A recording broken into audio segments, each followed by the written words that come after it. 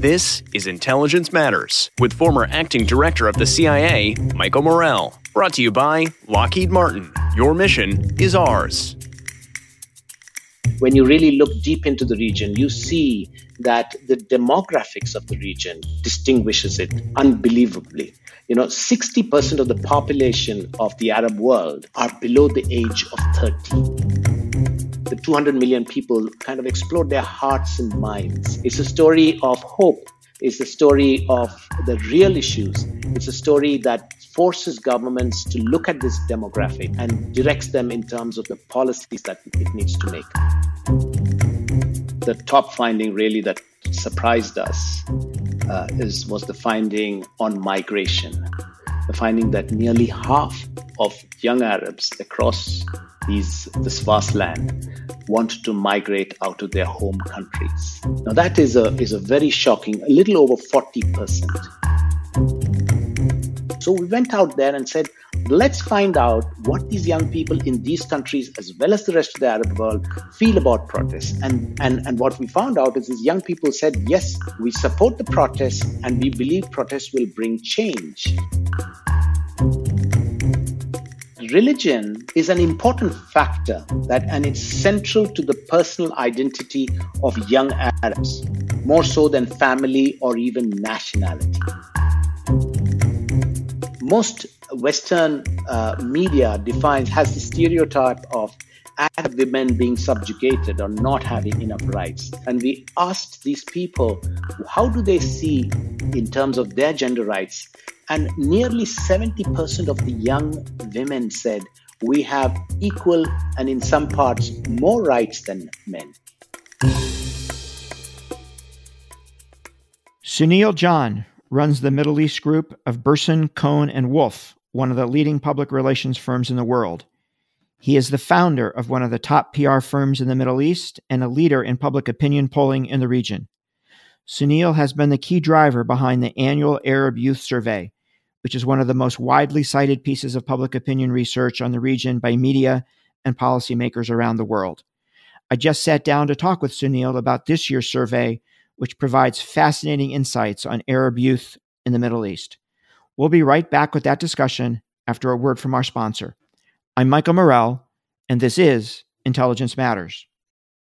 Supercomputing helicopters Sikorsky's Raider X and the Sikorsky Boeing Defiant X will operate as nodes in the U.S. Army's hyper networked battle space of the future. Lockheed Martin, your mission is ours.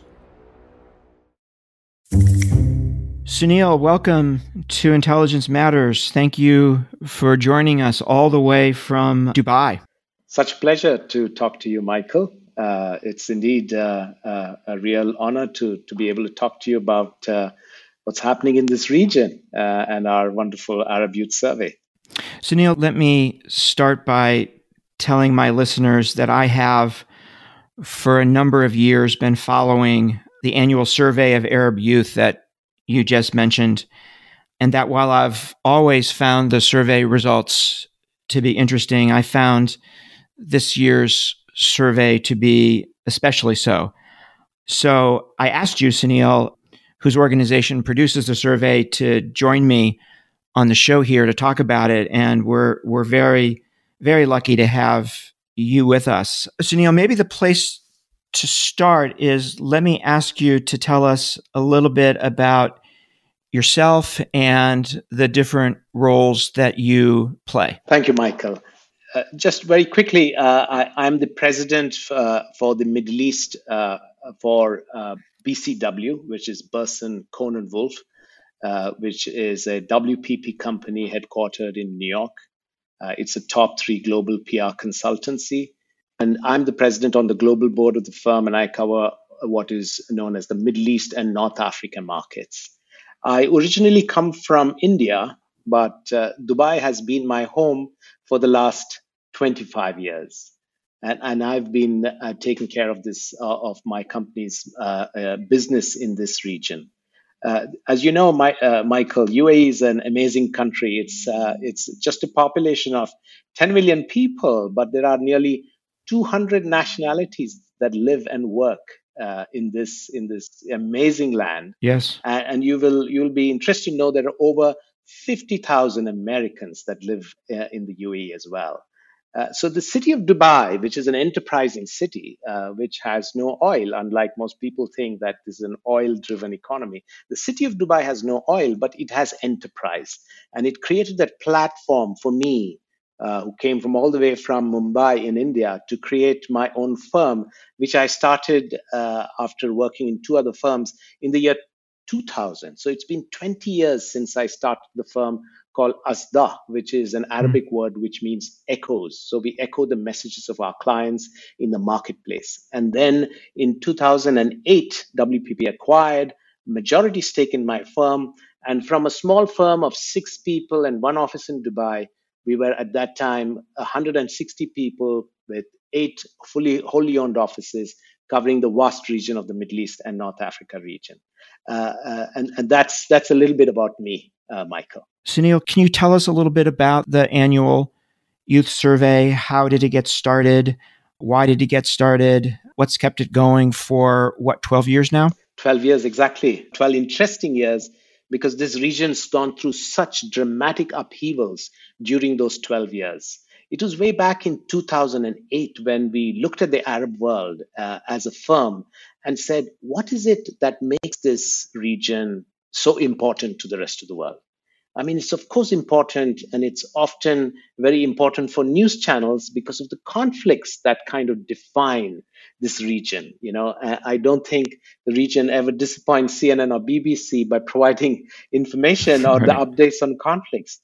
But there is, there's another nuanced uh, knowledge about the region, which is when you really look deep into the region, you see that the demographics of the region distinguishes it unbelievably, unbelievably. You know, 60 percent uh, percent of the population of the Arab world uh, are below the age of 30. You're looking at 200 million young Arabs. That is one of the youngest populations and regions in the world. So when we looked at it way back in 2008, we said, what do governments, private sector, multinational companies know about this large demographic? And, and the truth was mm. very little. This region is so data poor, Michael, you will be surprised. And that's, we said, let's do a thought leadership initi- initiative. Let's go and talk to these young men and women in this age group of 18 to 24 uh, uh, in in about uh, in the last survey in the 12th survey which we did in 2020 we covered 17 arab countries and let's talk to them about what they think about their past their current and their future so literally we went and and, and found out what, what about the young arabs the 200 million people what they uh, uh, kind of explored their hearts and minds. Uh, and what the survey tells you is a completely different story. It's a story of hope. It's a story of the real issues. It's a story that forces governments to look at this demographic and, and, and directs them in terms of the policies that it needs to make. When we started this survey, Michael, you will be surprised. And, and all of this survey, by the way, is uploaded on our website, Arab Youth Survey. Uh, and, and it is entirely funded by us. So there are we don't take any sponsorship uh, or funds from any government or any organization because we wanted to protect its independence, and that's something we have we have actually uh, preserved all these 12 years. But when when I was talking about the first surveys, 2008 and 2009, and we asked young Arabs, what is your biggest desire? And in 2008 and 9 and 10, in fact, before the Arab Spring, the number one desire the young people had was to live in a democracy. It's all there. The data is all mm. there. And if anybody looked at this survey at that time, and by the way, in the beginning years, nobody took our survey seriously, neither the regional governments nor uh, countries across uh, the world. But if anybody was looking at those findings, they could see the Arab Spring happening. That is the hmm. brilliance mm. of data. Mm. And when when it happened in mm. 2011, we had a special briefing for all of the Arab ambassadors in Washington D.C.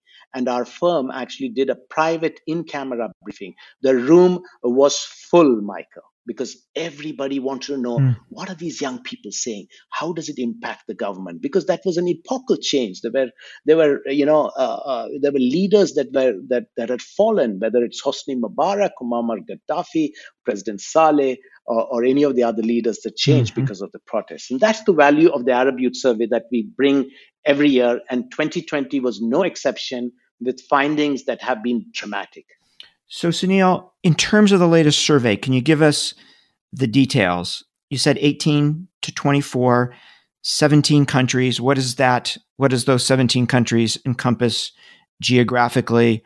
Um, how many folks were surveyed um, and over what period of time? Sure. Uh, so first of all, 17 countries is, is a, vast number of countries, but we actually break them out down into three very distinct regions. So you have the oil-driven economies of the Gulf. So you have Saudi Arabia, UAE, Qatar, Kuwait, Bahrain, and Oman. So those are very distinct. They are they are uh, they are uh, uh, economies that are large in size, and there is much more wealth in these countries. Then you have the conflict-ridden, what are called Levantine countries of Lebanon, Jordan, Iraq, uh, Syria, and the Palestinian Authority. So that's another group of countries that we put hmm. together. Mm. And then you have the populous North African countries of Egypt, uh, uh, Morocco, Algeria, Tunisia, and Libya. Again, some parts of it as well uh, have serious amount of conflict. So we actually distinguished the findings in these in these three distinct regions, though all part of the Arab world uh, we go and talk to uh, to uh, this year in 2020 we did the survey in two parts remember uh, michael this was a pandemic year uh, and every year we go out into the field right. in the months of jan feb and march and at that time, we spoke to uh, 3,400 young Arabs in, in that age group, all face to face interviews. These are not online interviews. Mm. And that gives it so much more dependence in terms of what. So we capture that. And these surveys are done by our sister firm, PSB, which is, as you know, the polling firm based out of New York, which is famous for all the polling work they've done for President Clinton and Tony Blair, and, and of course Prime Minister Modi in in in, uh, in in India as well. So they actually conduct the polling, and then we work with them to analyze the results. So so, however, after we did the first phase of the polling and we saw the results, the pandemic suddenly broke through. Uh, in the region until March, it hadn't really affected the region. And we said, you know, we can't come out with the finding until we do a bit of a, you know, kind of a post-COVID or, or during COVID survey to see if there ha- if perceptions have changed. So we've been back into the field and did 600 interviews in about in six countries. So the survey uh, this year has captured about 4,000 interviews with young people, as you said, in the age group mm. 18 to 24, 50% male, 50% female. Uh, and those are the results that we came out with uh, in October. So it took us a little time last year, but we, we spent a little more time to make sure that the findings are, are kind of recalibrated and retested to make sure that those findings reflect the facts on the ground. In fact, we were the first survey to go into the Arab world to look at the impact of COVID on young people and some, some interesting findings there. So, Sunil, walk us through what you consider to be the top findings, the most interesting findings of the latest survey. I think this year, Michael, that was the top finding really that surprised us uh, is was the finding of on migration, the finding that nearly half of young Arabs across these this vast land wanted to migrate out of their home countries. Now that is a is a very shocking, a little over 40%. When you have your young population having lost hope in their in their in their countries and want to migrate, that is a huge red flag for governments, not only for governments in the region, but a huge red flag for, for the foreign countries where these people want to go. The pressure on the border mm-hmm. in Europe is fairly well known. And how did that finding happen? Because we there are three things connected with this. In 2019, if you remember, Michael, there were huge number of protests in countries such as Lebanon, Algeria, Sudan, and Iraq. And, and these were young Arabs yes. going onto the streets and protesting against the lack of opportunities and youth uh, having not enough uh, employment. As you know, the Arab world has the highest youth unemployment rate in the world. As per World Bank, nearly 30%. And that created a huge amount of anxiety and pressure. Then the economies had had its own pressures.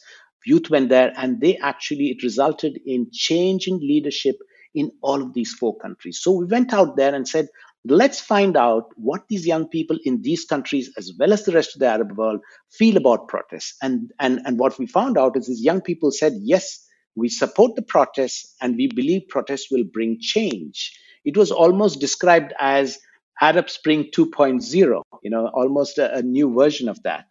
But the real reason why these young people went onto the streets was because they were frustrated with government corruption and corruption that stopped opportunity reaching these young people.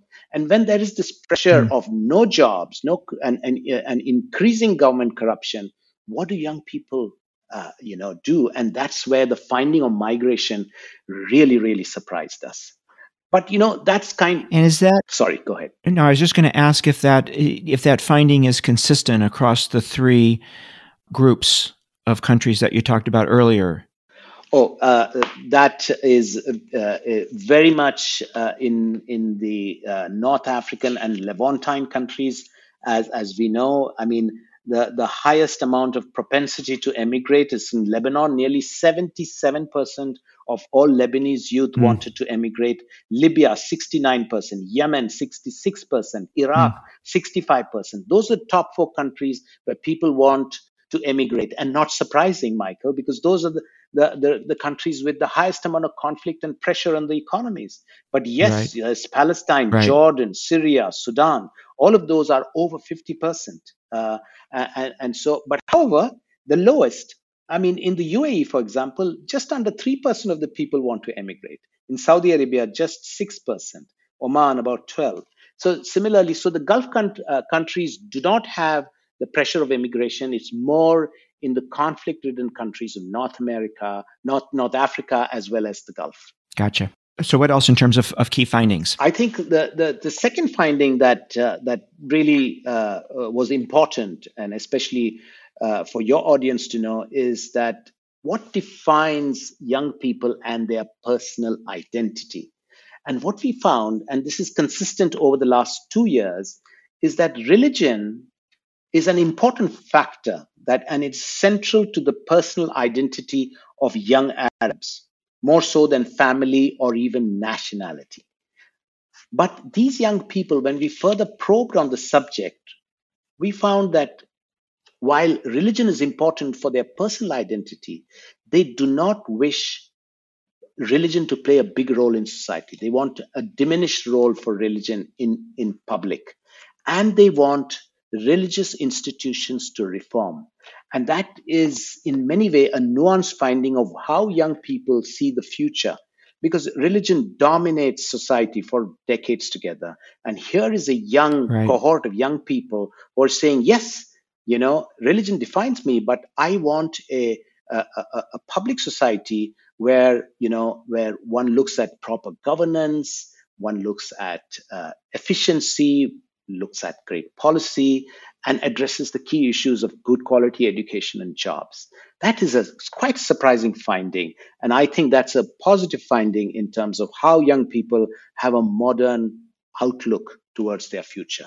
Another finding, which I think, if, if you allow me, is about gender rights or gender opportunity. And here is a surprising one because, you know, most Western uh, media defines, has the stereotype of Arab women being subjugated or not having enough rights. But when we yes. went and spoke to these young, as you know, the sample is 50% female, and we asked these people, how do they see in terms of their gender rights? And nearly 70% of the young women said, we have equal and in some parts more rights than men, than their menfolk. And they have equal access to good quality education and jobs that's that really surprised us this year in terms of how young women uh, are are looking at their future. That they are so you see some of the government policies coming to actual impact on the ground where young young women are seeing more opportunity for themselves they're getting into the workforce and and we see that as a as a big uh, uh, as a big positive in the findings as well we're going to take a quick break to hear from our sponsor then we'll be right back with more of a discussion with sunil john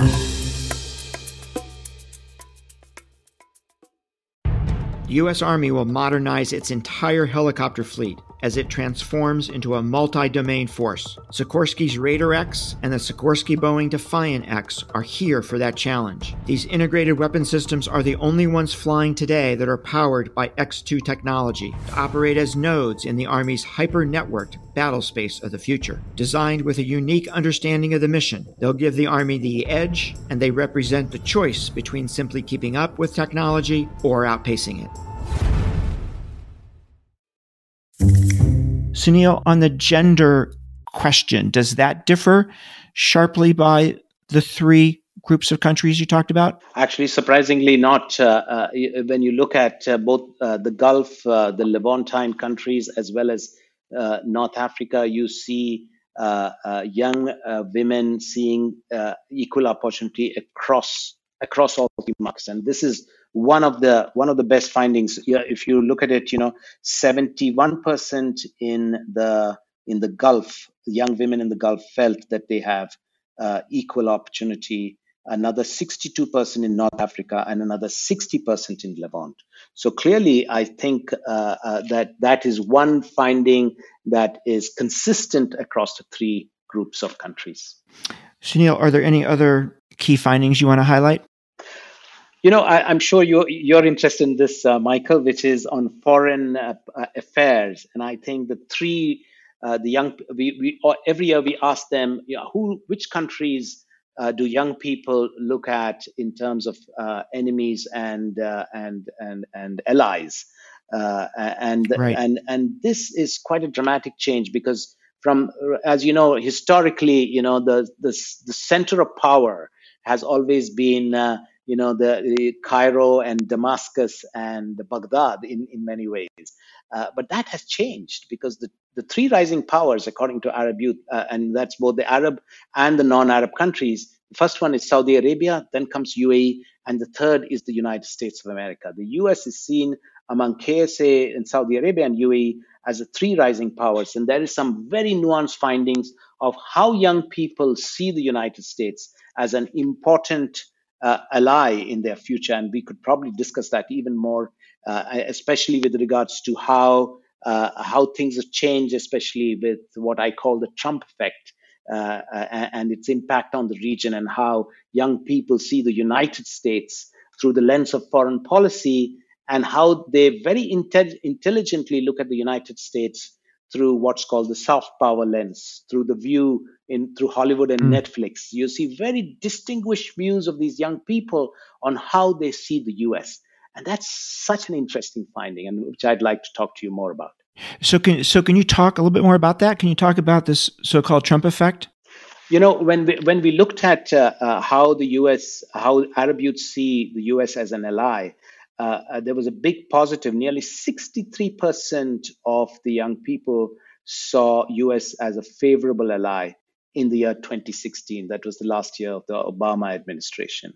And then came Trump and in 20 and the and the Muslim ban and a lot of the policies that happened, that 63% dropped to nearly 35. It was the lowest point in the 12 years that we have seen in terms of how the Arab the, the view from the street, actually, from uh, uh, of how Arab youth see the U.S.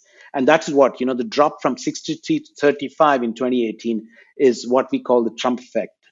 However, over the last two years, it's been picking up. In 2020, uh, uh, young people, young Arabs, look at the U.S. 56% of them look at uh, the U.S. as an ally. So there's been a move up and I think it's it's uh, I think a lot of young people are looking at the Biden administration uh, to look at the, the region differently. Uh, and I, I think there's a lot of hope that, uh, that the US will play a much more engaging role uh, in the region because that's the aspiration of young people. Uh, but and, you know, y- yes, go ahead. No, no, no, no. Please go ahead. I was saying that you know, but this when we asked the same young people who saw uh, uh, who looked at the U.S. in terms of the uh, you know the ally and adversary role. At the same time, we asked the question: which is the country they see as a model nation, a, a, a nation that their own country should emulate? Of course, the, the first nation there is the United Arab Emirates. The UAE is seen as a model nation. It's almost a city on the hill. But the second most popular country is the US. So when you look at it, that is there is an aspiration value of brand United States in the minds of young people. They see and they understand the values of what US stands for, and there is this huge thirst to know more about the country, to to understand, to to uh, to to know the American way of life as a land of opportunity, and they want their own country to emulate what the US done. The second most favorite country of Arab youth after the, United, the UAE is the US. And I think that is that is quite, uh, you know, I, I look at this cohort of young people, you know, as a very intelligent uh, uh, set of people who understand and nuance their perceptions by what they see. And, and that is, uh, uh, is quite an interesting finding. How did they think about China in that allies enemies context? Uh, so, so this is something we've been we've been looking at, as you know, for several years. Uh, and in terms of foreign policy, uh, it's been going up and down. And, and to just give you, I'm just picking up the the the uh, the actual numbers on that. China has uh, Russia, Turkey have all emerged as as powers that are hungry to replace uh, to replace US, especially after their disengagement policy. And I mm. think uh, uh, that's something that the United States need to look at very, very closely. So when you look at it, uh, China is seen by 73% as an ally. Russia is seen by at 71% as an ally, Turkey by 61%, and then comes the United States at 56%. So as you can mm. see, there is a vacuum that has been created especially with the disengagement policy over the last mm. several years. And that has created uh, uh, uh, the opportunity for several of these countries, especially China, Russia, Turkey, uh, and Iran as well, to be able to play a role. Iran has very strong relationship with certain parts, especially in the Levant and in Yemen as well. So you can see that it's a very dynamic situation. But however, I think you know, as I said, more and more the Arab world is turning to its own in terms of its allies. So if you look at its two biggest allies are, you know, the, the Saudi Arabia and the United Arab Emirates, and that's where the center of foreign policy power is today, uh, and and that has dramatically changed from you know five, six, ten years ago. What's attractive about the UAE as a governance model to these young people? or we ask them why do they choose uh, the UAE as a model nation, and uh, there are four reasons that they have picked up, uh, and and those are, uh, you know, safe and secure. And these this is, I mean, the region, especially the conflict zone, has been very unstable, and within that, you know, the UAE has been a very peaceful zone, almost. Uh, you know, a, a safe zone for a lot of people. Safety and security, wide range of work opportunities, of course, general salary packages. As you know, in the UAE, there's tax-free salaries, Mike. You know that. Uh, yeah, I could use that. yes, indeed. and and a growing economy. So those are the four reasons why they chose the UAE as a, as a model nation, as as a place where they'd like to live, and they want their own con- own countries to emulate. And I think uh, that uh, that has been consistent over the last nine years ever since we introduced the question in 2012.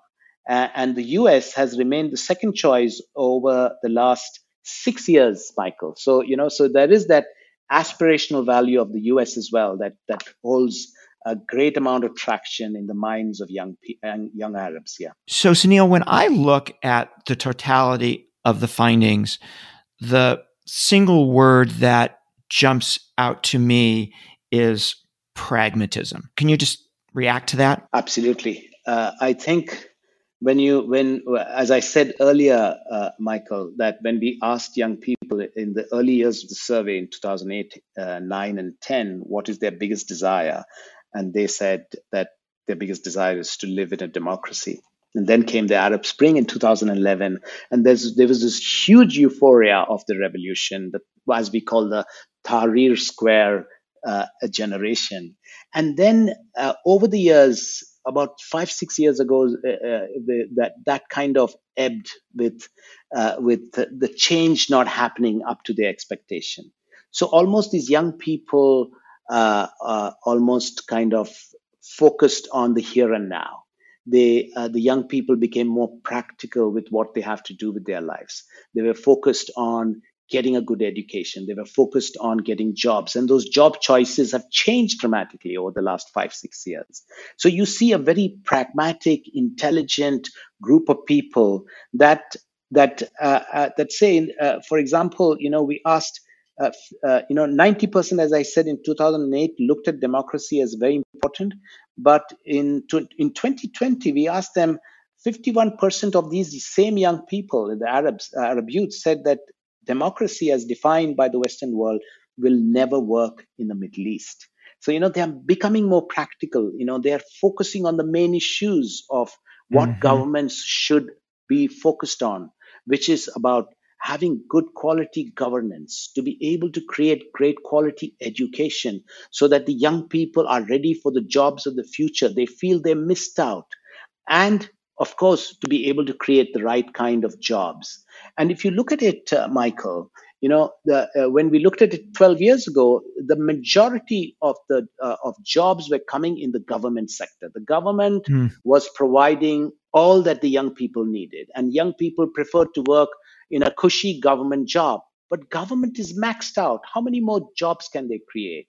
So, you know, I, I think more of the government policies is to encourage the private sector to create more jobs. And now there is a whole new movement towards, you know, focusing on young people starting their own businesses. So the spirit of entrepreneurship has really emerged over the last four or five years. You can see centers of technology. There are these big unicorns, you know, brands like Careem that, that Uber has taken over, a, a brand like Souq.com that Amazon has taken over. These are all unicorns that have come and emerged from this region. There are there, you know, there is a, a Dubai startup called Starzplay, which is a streaming video on demand service. Uh, which operates across the MENA markets, and they are bigger than Netflix. You see, because they have, mm. uh, you know, and you have another music streaming service called Anghami, which is bigger than Spotify and Deezer. So, so there's a lot of technology startups, and there's this whole new movement of young people looking at creating their own companies and and looking at private sector jobs. So things have changed dramatically. Yet, you know, the region needs to create a hundred million new jobs. And the problem is that there are more young people coming into the workforce, and the pressure is not stopping it's becoming even bigger. And the government has to do more. You know how, whatever whatever you say about the arab spring that particular movement it's the 10th anniversary of the arab spring actually in in in 20 in 2021 uh, uh, that movement has dramatically changed how government sees how they run. They started speaking to their citizens they started looking at more policy. And you have this whole new movement of the sovereign wealth funds, especially in the Gulf, focused on domestic investments, on focused on creating jobs, on encouraging the SME movement, the small and medium enterprise uh, uh, sector. They're looking at so in a, from uh, a pivoting from an international investment policy to actually focusing on more domestic uh, industry, on making more uh, making the economies more diversified. You know, the governments are are, are very uh, uh, clear about how climate change is going to make sure that you know hydrocarbon focused economies do not have much of a future in the next 20 30 years. And they need to pivot to an economy that is decarbonized that is much more in a net zero environment that we'll be going into. And that's where governments are pivoting to new policies diversifying their economies focused on infrastructure and creating more jobs for young people. So, Sunil, I take it from everything you said and from the tone of your voice and actually the excitement in your voice that these results make you hopeful for the future of the region. Absolutely. Uh, there are a couple of things that uh, that define that view, uh, Michael, uh, and if you may, uh, one is of course uh, you're such a keen observer of the region. You know this region. and I've read your books and you understand this.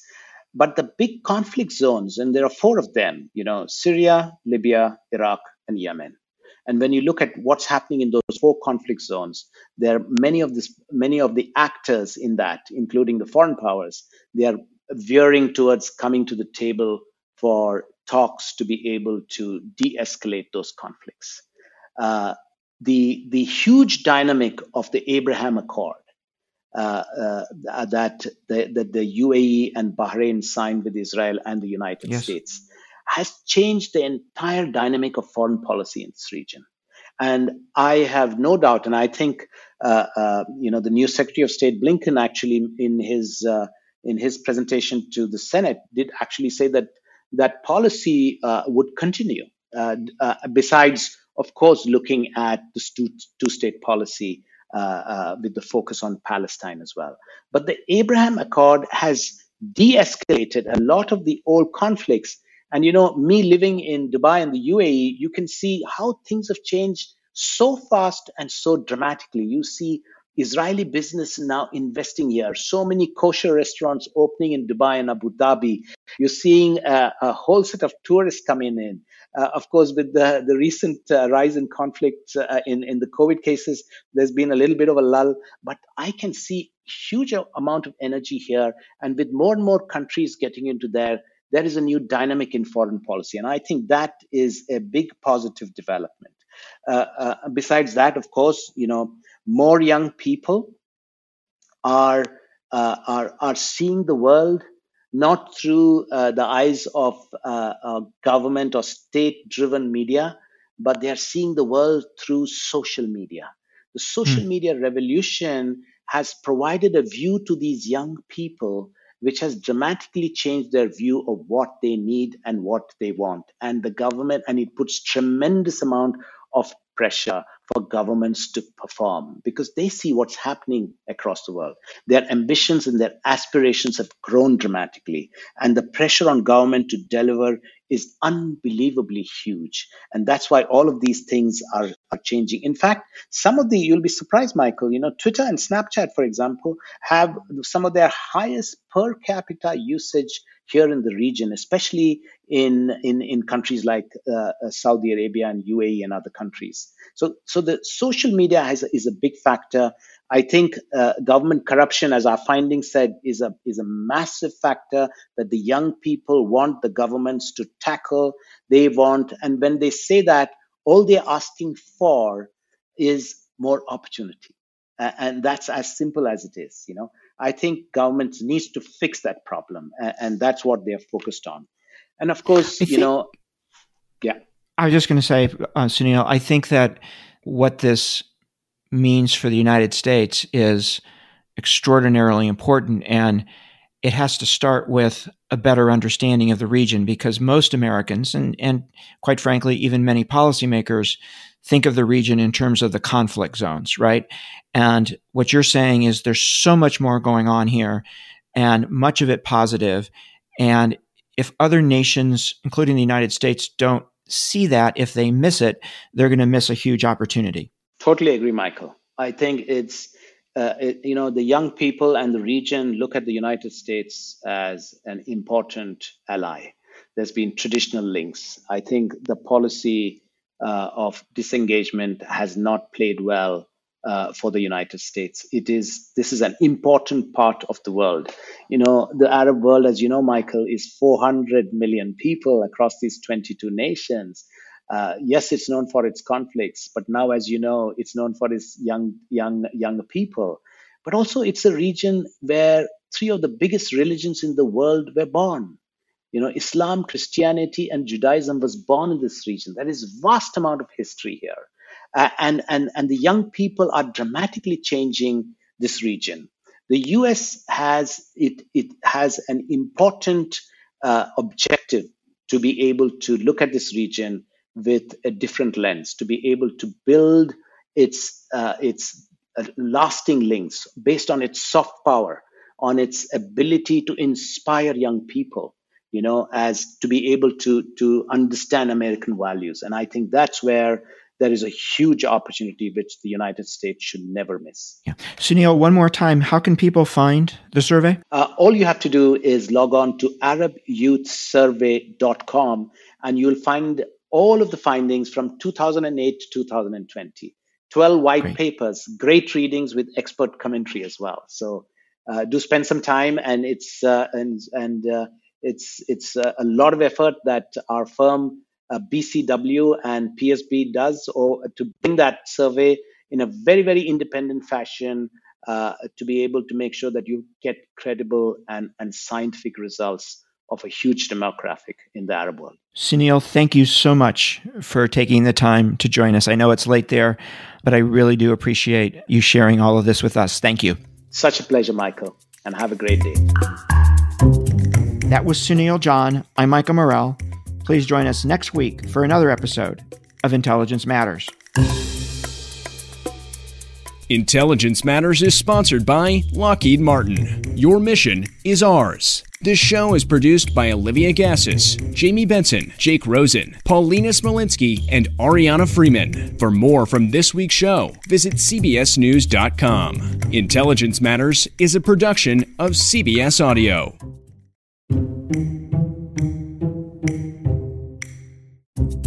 Like most people, Pod Save America co host Tommy Vitor thought foreign policy was boring and complicated until he got the education of a lifetime working for President Obama's National Security Council. It was a crash course that taught him two things. Anyone can understand these issues, and we all have an obligation to try.